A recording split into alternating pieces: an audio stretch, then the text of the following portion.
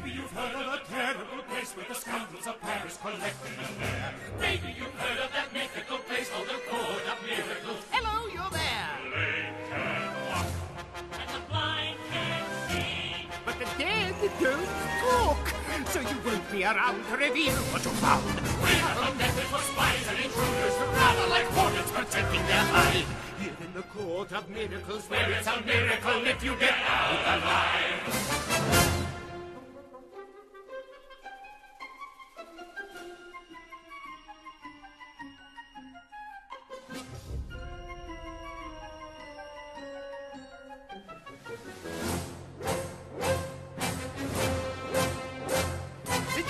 Justice is swift in the court of miracles. I am the lawyers and judge all in one.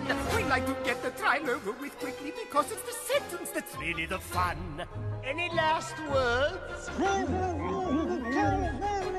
That's what they all say. Now that we've seen all the evidence. Wait, I object! Overruled! I object! Quiet! We find you totally innocent, which is the worst crime of all. So you're going to bed.